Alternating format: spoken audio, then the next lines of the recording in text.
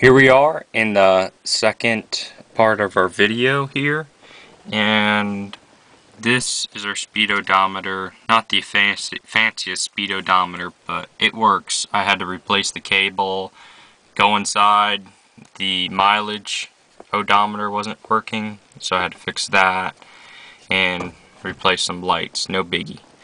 Um, so we're gonna go ahead and crank it up cranked right up.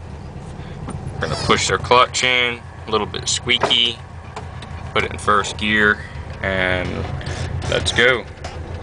Um, I'll be only riding in first gear for this video, but uh, because I'm holding the camera with one and driving with the other. We're just gonna drive down the driveway here.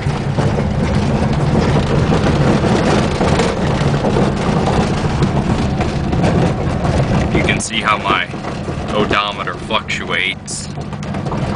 It's hard to keep the camera still, sorry about that.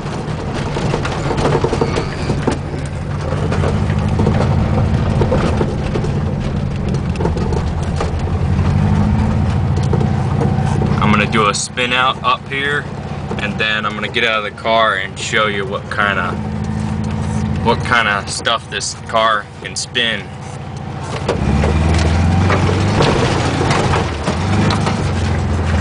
Sorry about that. We're gonna go ahead and stop the car here. That was a pretty good spin out. Spin out.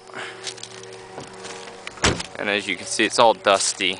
Maybe you can't see, but on this corner up here, I uh, pegged it, and uh, it pegs pretty good. It's kind of fun. You can see the rut there, and the rut's right here where it dug in. You can see that white dirt. That's all topsoil on top of that. It dug right down to that white dirt. But uh, thank you for watching and leave a comment below and hope you like the ride. Thank you.